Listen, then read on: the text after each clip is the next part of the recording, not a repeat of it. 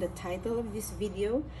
These are my top five beginners fountain pen uh, recommendation as per my experience and also they are under $50 but to give it a twist I also have an alternative if you have the budget not really that much but if you want to go a little bit leveling up but these are still below hundred dollars. So let's not make this so long. These are my recommendation for those of you um, who wants to try but don't want to spend a lot. So these are basically 50 to 100 dollar range fountain pen recommendations so first is I will recommend the Kakuno Pilot Kakuno. I hope I'm saying it right this time. Yes, I have a video of this comparing this both. But this is another story. This is the Kakuno um, clear one demonstrator version. And this is just around $12 if I'm not mistaken in Amazon between that range depending on which country you are so this is very common um, beginner's pen. I think most of you have already seen this pen online YouTube.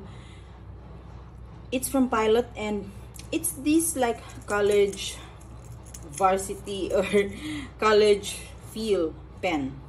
Okay even though you're in high school or still in school this is a good one.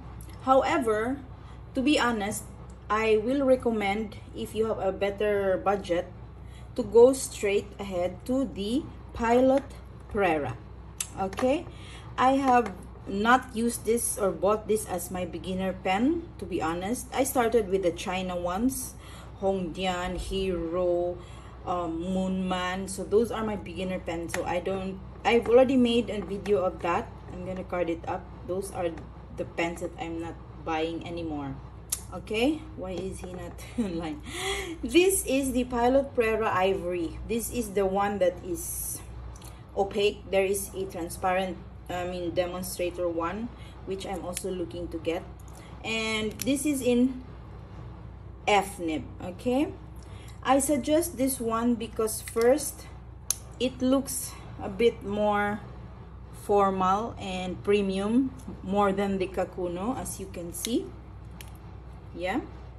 So these two are both from Pilot both fine nibs but feel writing experience and look wise as well I guess because of the price you pay. This is a bit more um, classy premium pen. Like you can take this to a formal meeting a signing of contract or applications more than this. It's just looking like a regular pen for those who are not aware of fountain pens. The looks I still prefer the Prera. Although Prera is shorter when it comes to length it's a pocket pen but you can always post this. It's also a clip not a twist cup. So see for a normal to small hands like mine it's perfect. So if I am to go back to my first phase of collecting these pens I would immediately get a Prera. Second on my list by the way these are very well arranged according to the pricing I think. These are around $12 and this would be around $28 so it's like a double double amount but it's worth the, the price okay? Second would be the platinum preppy. Again another another competitor for the prera same demonstrator pen same cartridge converter uh, ink filling. Uh, this is a cartridge that is a converter. There is a cartridge i mean there is a converter as well but it's a little bit pricey. I mean yeah from my end like I don't and to think this is has the slip and seal cup. So until now it still writes even though it's been here in my desk and you know stocked storage still writing with this much amount of ink. This prayer um this platinum preppy is around five dollar pen but there's also a lot of color variations color options you can choose. This is just a demonstrator. The color colored ones are way more um, childish kiddish looking. That's why I didn't get them. So I had this demonstrator before instead of getting the colored ones if you have the budget from a platinum preppy to look a little bit more funky with a, with a design or you want to you know stand out in your class or if you use this at work you can. Nobody's stopping you.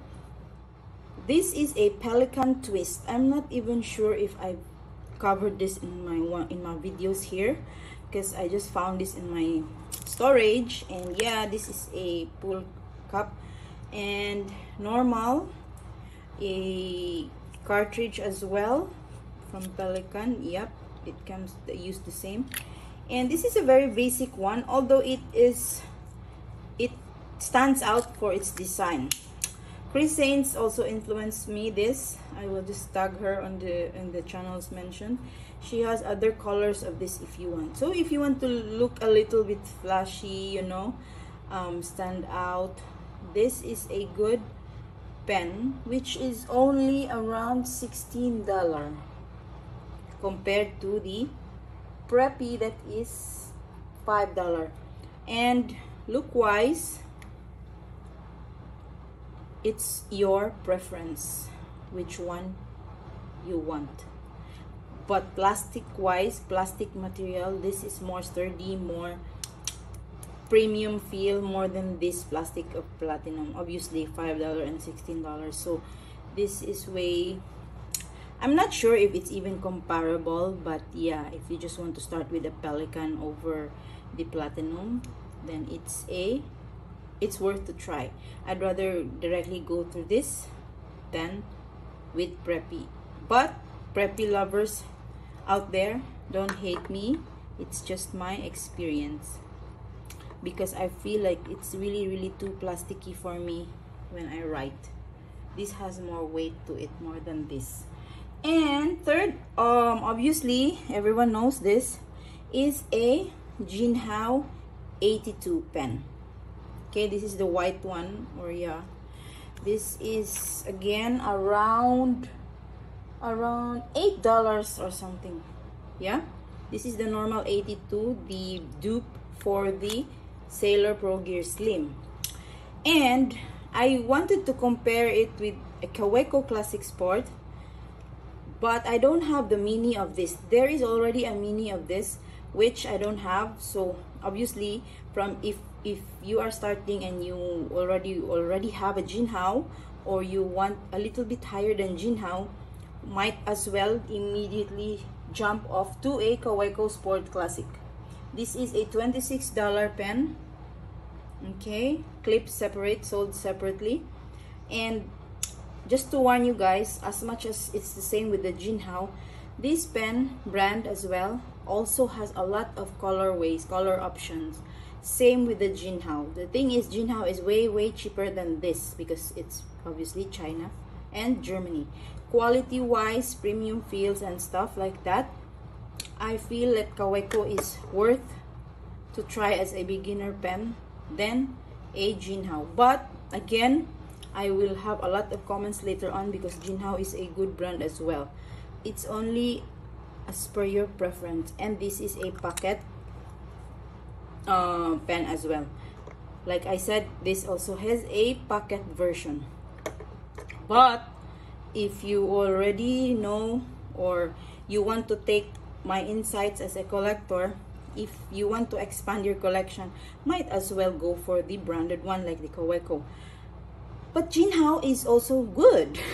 So I just don't want to expand um, my Jinhao collection more than my Kaweco obviously it's a preference and the money. So if you have $26 to spend on a pen then go for it don't get stuck with Jinhao you know but if you really like how Jinhao, Jinhao writes more than the Kaweco one, then go for the Jinhao. It's just a matter of preference.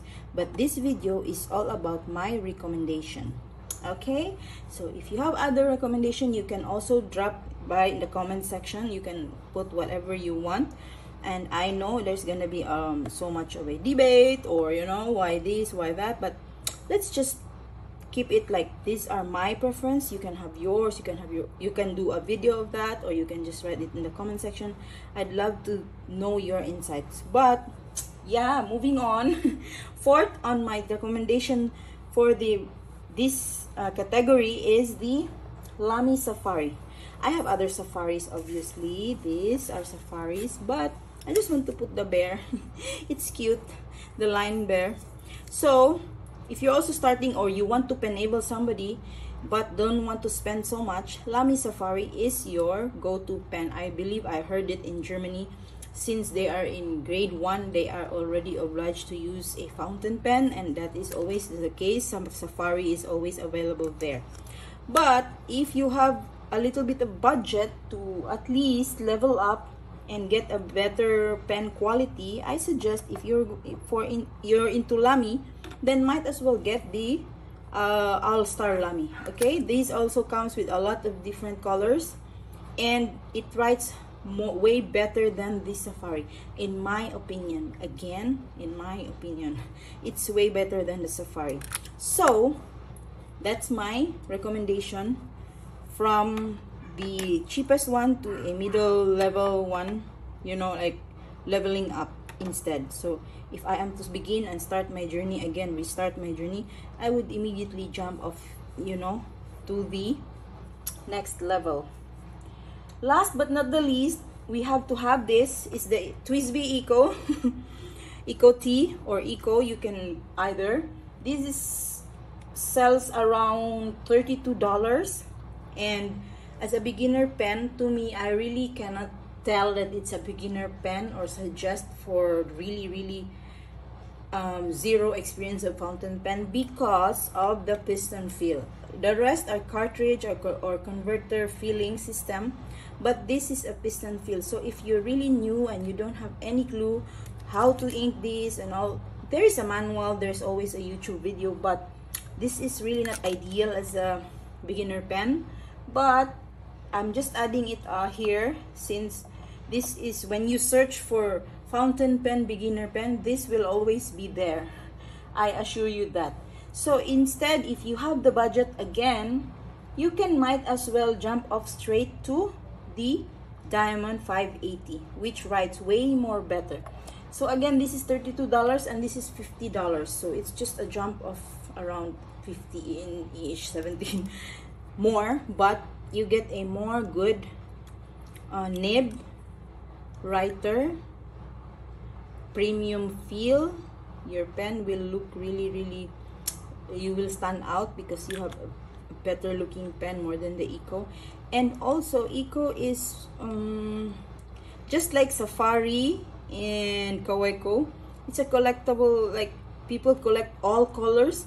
You don't question them why they are all the same pen but it's a collector's item i suppose. I don't have a lot of colors of this but if i have the budget and if i am to rewind i can start only buying the 580 okay if i am to suggest this is a good writer really good writer. So guys that's it. My top five or so 10 eh, recommendation for $50 or below pen or if you have the budget go for move forward to the almost hundred dollars. So overall these are hundred dollars below pen. But yes if you already knew about this pen and these are my recommendation pens if you want to do the next level or if I am to suggest go directly here. If you have the money it's all about your budget and what you really want in life i think. So yeah. Please don't forget to like and subscribe to my channel guys. I know i have a lot of views but please just click the subscribe button. I will only i promise you i will not flood you with videos maybe two or three maximum in a week. And at least i'm trying to be make to make it more informative. Okay guys. Um, i think that's it for now. And i hope you enjoyed this recommendation. Um, at least somehow informative for people who are just looking around trying wanting or stopping themselves to get a fountain pen. This will really help you guys. That's it and i will see you on my next one. Bye guys